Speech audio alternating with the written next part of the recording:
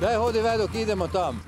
Ali se zdiči već je na mene, No. dok je tu I nosi hrena po cijeli zemlji. Za proizvođače hrena u Ludreškom kraju naveliko su počele pripreme za uskrs.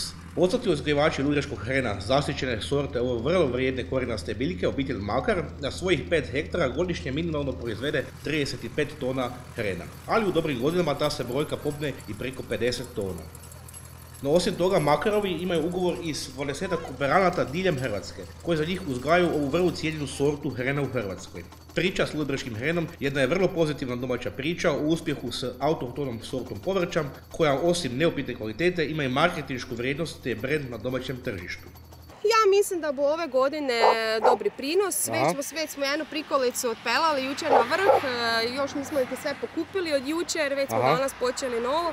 Pa ja mislim da kako to sad zgleda da bu sigurno negdje oko 10 do 12 tona po hektarovi. Sigurno zišao neki ukupni prinos hrena. A znači, a dobro, koliko imate sve ukupno vi? Znači imate tu, samo tu na hektar imate, koliko imate sve ukupno? Koliko sve bavite? ukupno? Pa Da. kaj znam, sve skupa točno ne znam, otprilike ne znam, 5 hektara sve skupa imam Znači 5 hrena. hektara hrena i koliko tu onda ovoga e, ispadne godišnje prosječni nekakav prinos, koliko vam je? E, Znači, računate po hektaru neki 7000 kg minimalni prinos, kak mi računamo općenito za ugovaranje kooperacije i tako dalje.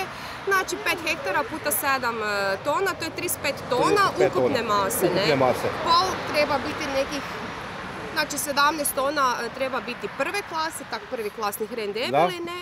Ostalo su sadnice i Aha. ta C klasa koju dajemo na preradu za bočice. No, kao i u svakom poslu, i proizvođači hrena susreću se s poteškoćama. Prvi je nedostatak radne snage, ali i pritisak trgovačkih lanaca. No, sve to neće ugroziti opstanak proizvođača čuvenog ludbreškog hrena.